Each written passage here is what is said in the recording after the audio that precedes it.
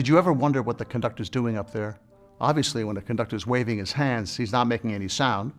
The musicians are making all the noise or all the music, and these, in this case, this great orchestra making these great performances.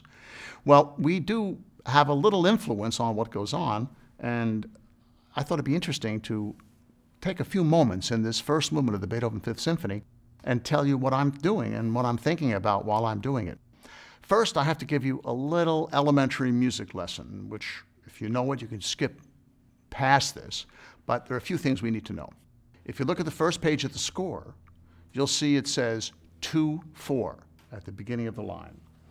2 4 means that there are two beats in every measure, and a quarter note is getting a beat. So the first question is what's a measure? If you look at that score, you'll see a line. It's called a bar line. You'll have a few notes and a bar line. That is a measure. It's either a bar or a measure.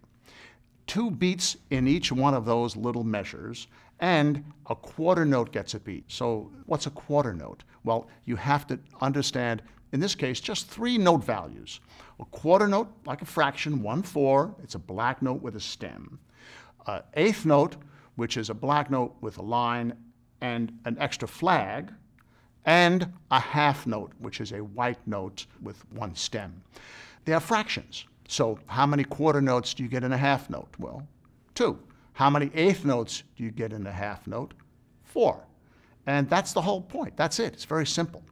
The other things you need to know, you need to know what a fermata is. A fermata is a sign that a composer puts down for the conductor, performer, to hold a note longer than what's written, but without a specific amount of time. You can judge it on your own. The other thing we have is we have a tie, and the tie is where two half notes are being held together. The tie means you don't re-articulate, you don't repeat that note. So to, to back up again, 2 4, how many beats in a measure? 2. What kind of note gets a beat? That's a quarter note.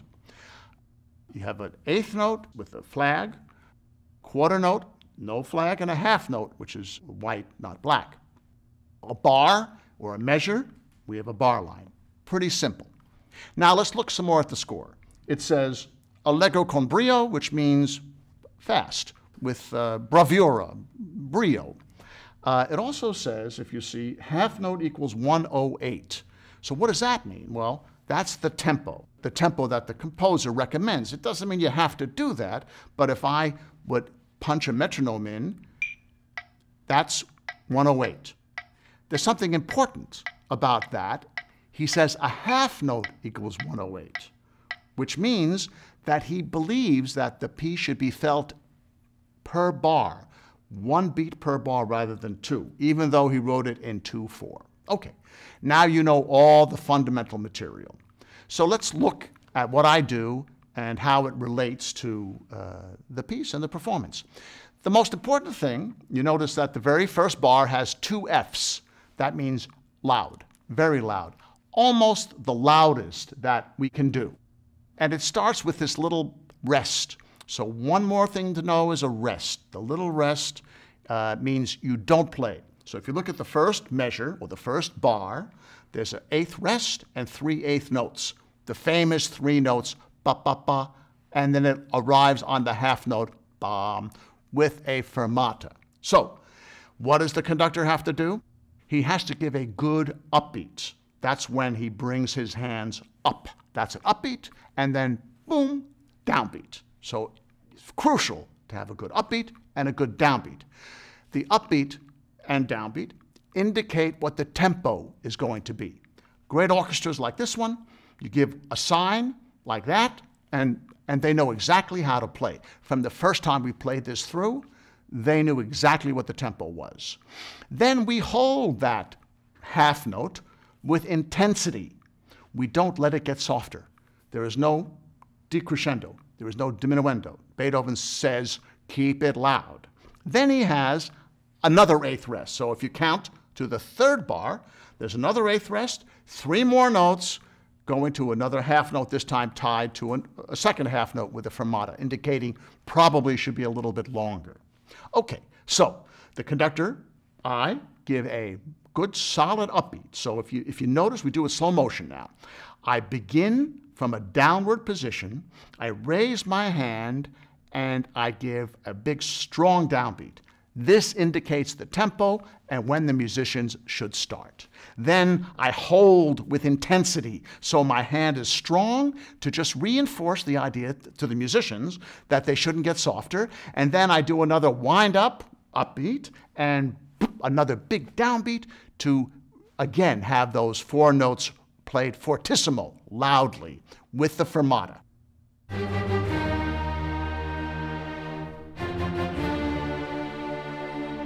The next moment is the hardest moment for the conductor. Some conductors actually cut off this half note with the fermata and they add an extra bar. So it would sound ba ba ba bum and then ba ba ba bum, cut off. Ba ba ba ba ba ba ba ba. They add a whole bar. Many conductors do this. I don't. I think it's wrong. I think if Beethoven wanted to have an extra bar, he would have written an extra bar. The reason that some conductors do that is because if you notice, the next entrance, so if you count the bars, one, two, three, four, five, the sixth bar is marked with a P. The P means piano, which obviously means softly. The second violins begin softly. The problem is that when you play loudly, and the next note, if it's soft, won't be audible. And so it's very tricky to cut off the loud and at the same time give a beat for the soft. So what I do, I hold that second fermata with intensity, I come up, I release, and I bounce. And when I bounce up, the second violin's note to begin. Let's do this first slow motion.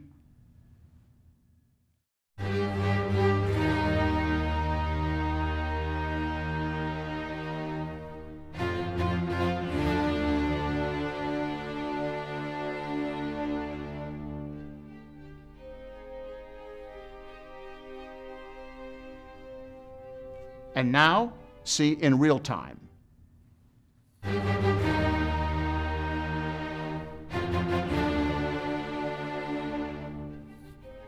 What's interesting here, I never had to tell the orchestra how I do it. I just did it, and they were perfect every time. Interesting, when you get an orchestra of this caliber, which is maybe the greatest orchestra ever assembled, the conductor doesn't need to do much because he's giving all the signs with his hands. So here we go. Now, what happens next? There are a bunch of bars that go on. It's all soft. Everybody comes in with a little figure. I'm not doing much here. I don't need to do much here. I mean, I could actually stop conducting and there wouldn't be a problem because they would play together. So on, I keep time, make sure the pulse continues to go at the same speed. Then you notice there's a piano sign and it says C R E S C, period, which means crescendo, get louder, and then it goes to a forte. There are three forte chords, three bars, and another fermata. And this fermata, only the first violins are holding. Now, the key here is very important that the orchestra does not make any crescendo until that one bar. So what the conductor does is at that bar, he'll give an explosion or she'll give an explosion, and that's what I do. Then I give three big chords and the fermata for the first violins, again with intensity.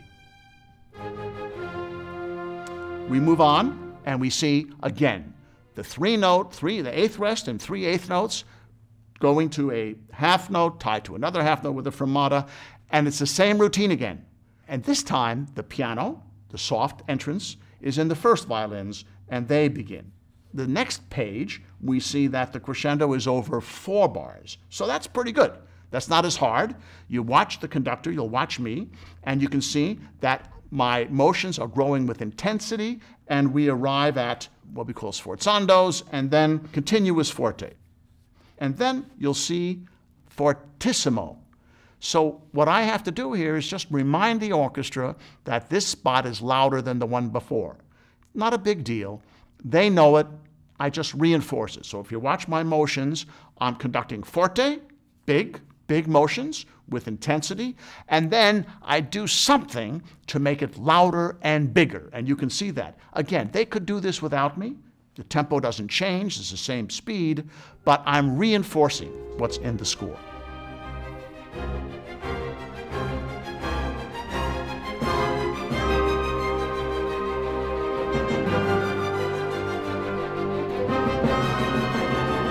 Then you'll see two big chords and the horns introduce the second theme. So they play ba ba ba bum bum bum. Then we go to the second theme begins in the first violins.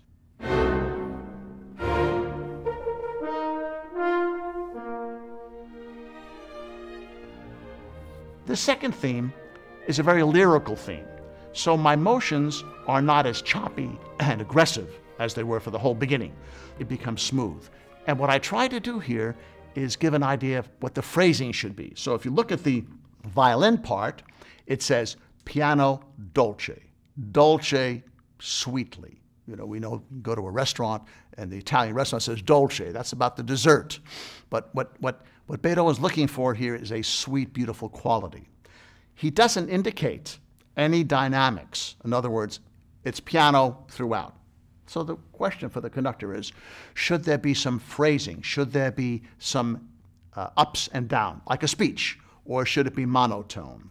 I like phrasing. So the phrasing I like, you can tell by my motions. It's like an upbeat, da da, and then da da dee da da da, da da da da. So two little emphases. The first one, of course, is after that upbeat. If you look at my motions, I do that. When I was conducting the orchestra, I never said one word to them about phrasing. I never said they should phrase it this way. I did it, and they followed me.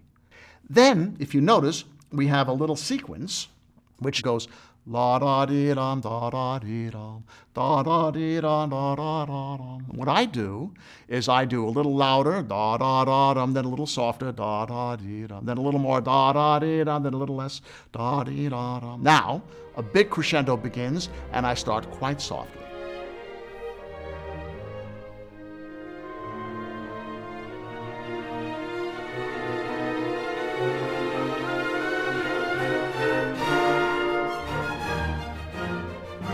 Again, if you watch my motions, I do all of that. I've never said a word to the orchestra about what I was doing. I just did it.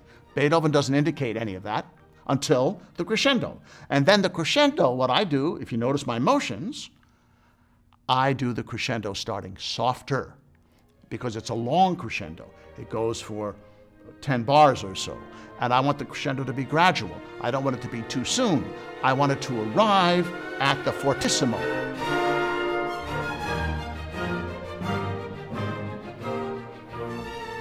This fortissimo is a big moment. Again, they don't need me here. It just moves wonderfully through. If they can hear each other, if it's good acoustics in the room, there's not a problem. If you notice, a few bars later, in the uh, cellos and basses, they now have quarter notes. If you notice, the quarter notes don't have any indication. Should they be long? Should they be short? Should they be spaced? All it says is fortissimo. I like these long. And so I have long gestures for the cellos and basses. Again, never said a word to the orchestra. I just made the gesture of long notes, and these incredible musicians just did it the first time through. Remarkable.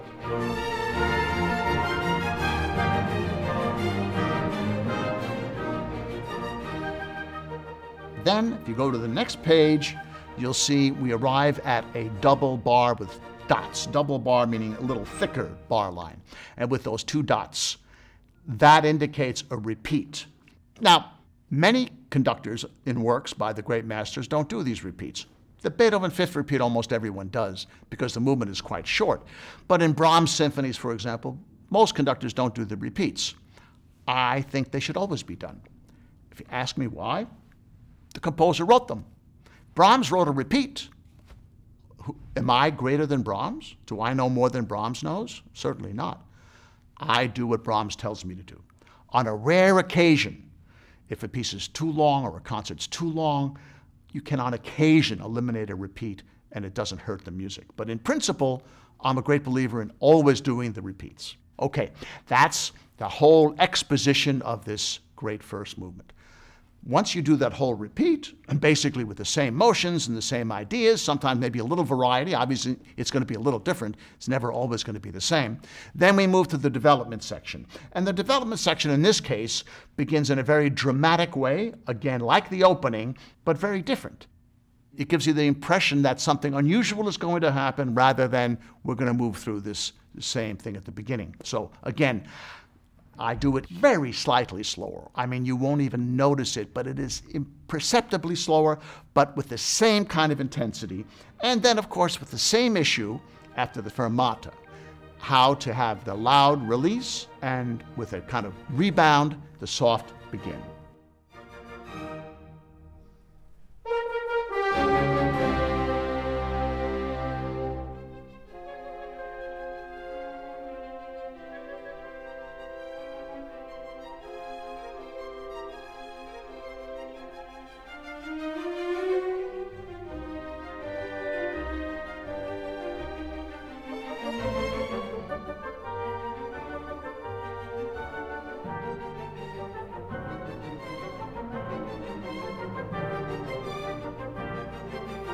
So as you watch and listen to the next section of the development, you'll see little subtle changes in my motions, but basically it's just keeping everything together, keeping it moving, reinforcing the dynamics, reinforcing the accents that Beethoven wrote until we get to these place of these half note chords. And the half note chords go between the woodwinds and horns and the strings, back and forth, back and forth.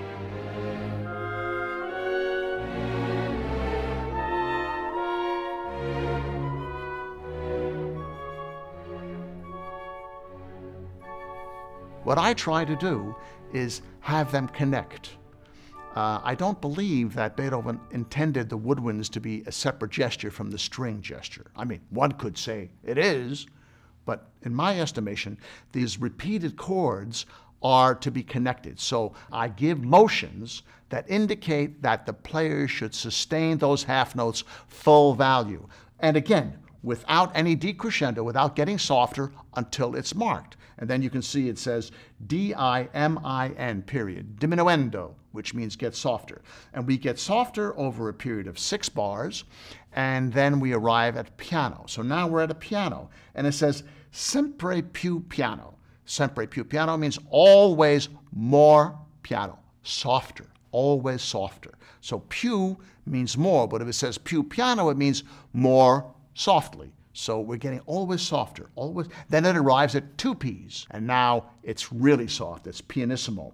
And then all of a sudden, there's this huge fortissimo. So you've gotten from the softest moment in the symphony to the loudest moment in the symphony, from pianissimo to fortissimo. And again, the conductor's job is simply to reinforce what the composer wrote. And I give a big sign for that fortissimo. And again, we have the same problem. We have to release the fortissimo and be able to hear the pianissimo dialogue between the woodwinds and the strings. And once again, I give a big beat to indicate the reinstatement of the fortissimo, and we arrive back at the big fermatas like the beginning.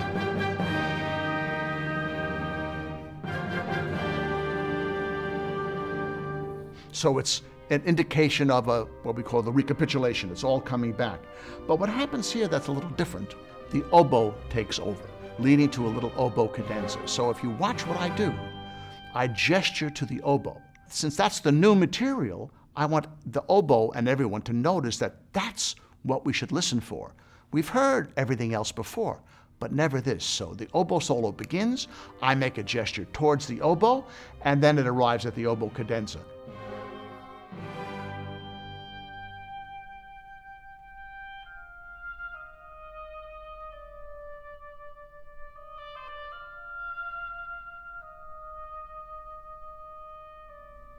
During the oboe cadenza, I never say a word. Uh, our great oboist, John Ferrillo from the Boston Symphony, plays it magnificently. I never discussed it with him. He just played it, and it was perfection. My job after that is to anticipate when that last note of his, again, it's a, a note with a fermata, and if you notice in his uh, cadenza, it says adagio, which means very slowly, and then uh, with a fermata for all of us, so we just wait for the oboe. And he has an additional fermata on his last note, and then I come in with the same material that uh, uh we heard from the beginning. Um, again, uh, it leads to forte, and then accents, and then fortissimo, and this time The introduction of the second theme is by the bassoon rather than by the horn. So I, I look at the bassoon. Believe me, the bassoon could come in without me looking. On the other hand, you never know. Everyone have a little reinforcement doesn't hurt. And then we go back to the same second theme, the same kind of phrasing, and the same crescendo, except this time uh, the crescendo is even longer. I think it's 14 bars, and it gets to that big fortissimo. What I do, I slow down slightly. Beethoven was known for, at the biggest moments, sometimes not forging ahead, but holding back. And I hold the tempo slightly back to that fortissimo, and then immediately I do what we call a tempo, back in the same speed that it was going before. And, and now uh, we go, this whole section is quite loud with accents. Sometimes there's some issues with what we call ensemble, so I have to give a little clear beat to make sure everyone can jump in and, and find their moments. And then there's this big loud note, and then there's a soft ba ba ba ba by the woodwinds. And then there's a bar rest, and then another big beat like the beginning.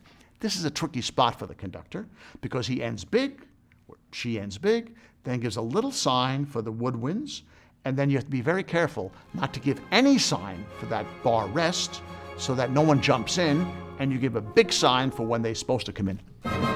And then we have this great moment for the whole ending where I love hearing these horns playing this passage and the timpani. And if you watch me, I give a sign for the horns and I give a big sign for the timpani. And the timpani actually, it's only marked forte, but I actually give the sign to indicate that he should play it louder which he did. Again, I never said a word. I just gave a big sign for that. As we move forward, again in the cello's basses, and this time with the violas, these quarter notes come back in. And again, the question is how long should they be?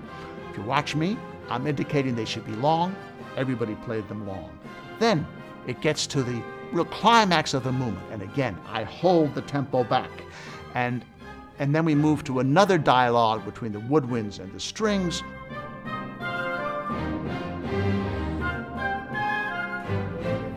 Again, I try to connect, so you'll see in my motions that I'm holding the last quarter note of the woodwinds, holding the last note of the strings, so that we all connect and have one sentence rather than a sentence that's chopped up. Finally, we get to the very end, again with the same gesture like the beginning, the same fermata.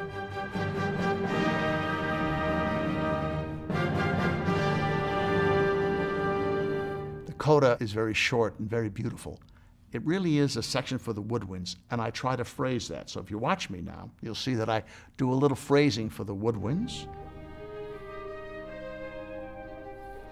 And then immediately we're back to the fortissimo and go to the end of the movement without any slowing down, without slowing of intensity, uh, and in a very dramatic way.